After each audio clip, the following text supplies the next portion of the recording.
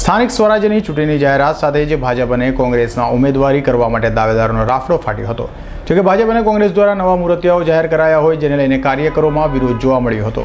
અને તે વિરોધ ફોર્મ ભરવાના અંતિમ દિવસ સુધી જોવા મળ્યો હતો જોકે વિરોધ વચ્ચે ભાજપ અને કોંગ્રેસના ઉમેદવારોએ વિજય મુહૂર્તમાં ફોર્મ ભરી જીતનો વિશ્વાસ વ્યક્ત કર્યો હતો.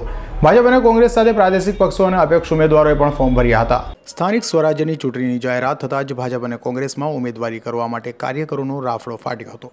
જોકે સુરત મહાનગરપાલિકાના ત્રીસ વોર્ડમાં એકસો વીસ બેઠકો માટે મહામંથન બાદ ભાજપ અને કોંગ્રેસ દ્વારા ઉમેદવારો નક્કી કરાતા. કેટલાક કાર્યકરો અને નેતાઓમાં રોષ વ્યક્ત કરાયો હતો. શિસ્તબદ્ધ ભાજપમાં પણ કાર્યકરોએ રોડ પર આવી જઈ વિરોધ નોંધાવ્યો હતો. સામે કોંગ્રેસમાં પણ દર વખતની જેમ આ વખતે પણ વિરોધ જોવા મળ્યો હતો.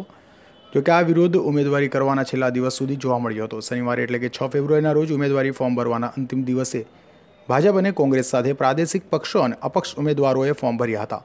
સવારથી જ ચૂંટણી અધિકારી સમક્ષ ફોર્મ ભરવા માટે ઉમેદવારોનો રાફડો ફાટ્યો હતો તેમ જાણવા મળ્યું હતું. સમર્થકો સાથે ઉમેદવારો મોટી સંખ્યામાં ચૂંટણી અધિકારી સમક્ષ પહોંચ્યા હતા, જ્યાં સોશિયલ ડિસ્ટન્સિંગ અને માસ્કનો અભાવ પણ ઉડીને આંખે વળગે તેવી રીતે નજરે પડ્યું હતું. સ્થાનિક સ્વરાજ્યની ચૂંટણીમાં દાવેદારી કરનાર ભાજપ, કોંગ્રેસ, પ્રાદેશિક પક્ષો અને અપક્ષ ઉમેદવારોએ હાલ તો ફોર્મ ભરી દીધા છે, ત્યારે હવે સુરતમાં ચૂંટણીનો પ્રચારનો પ્રારંભ થશે. Azhar Qureshi G twenty news